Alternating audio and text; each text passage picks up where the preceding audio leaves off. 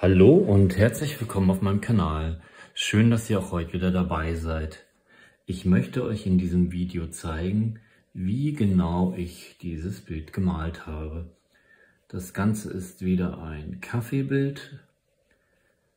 Ja, wie das Ganze funktioniert, zeige ich euch gleich. Ach ja, die Aufnahmen sind zum größten Teil in Zeitraffer, weil es sonst zu lange dauert.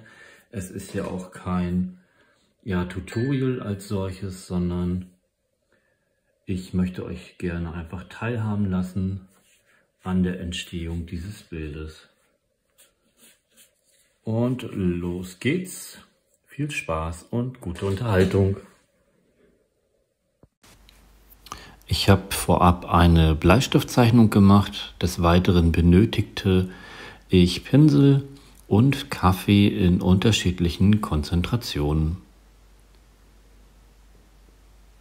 Ach, und Wasser natürlich.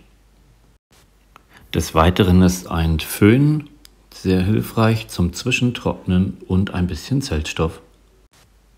Zuerst habe ich die grobe Form des Körpers mit einem Pinsel und sehr viel Wasser aufs Papier gebracht. Ihr seht, so nach und nach entsteht der Körper und man kann die Form oder wie die Person dort liegt ganz genau sehen. Achtet unbedingt auf die Perspektive, denn das ist das Wichtigste dabei. Und gleich werde ich das Bild zwischentrocknen. Da ist er auch schon, der Föhn. Der lag natürlich hier bereit.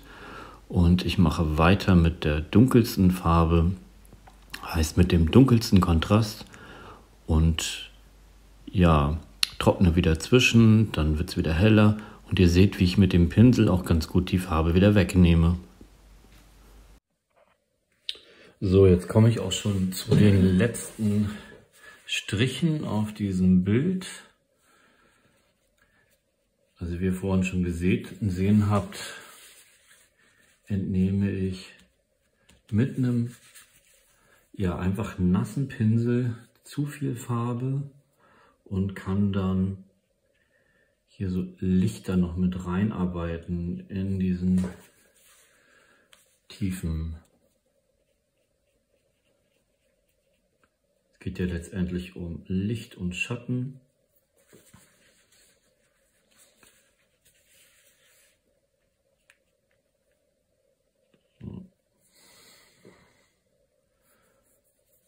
Hier vielleicht noch beim Knie ein bisschen Licht drin.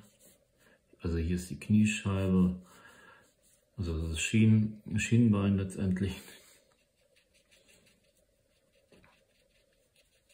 Das ist dunkler und hier wieder hell.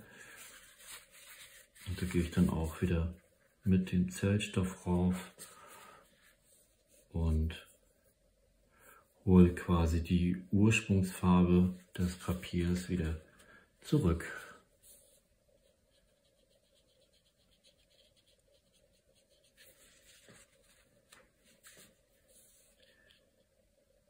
Ja, wenn euch das Video gefallen hat, hinterlasst gerne ein Like, abonniert gerne meinen Kanal und schaut gerne wieder vorbei. Ich danke euch und wünsche euch noch einen schönen Tag oder was auch immer ihr jetzt gerade macht.